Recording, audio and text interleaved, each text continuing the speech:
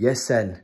Problem will be played on BBC Sussex and Surrey this Thursday. Don't know the date, but between 8 p.m. to 10 p.m. Stay tuned.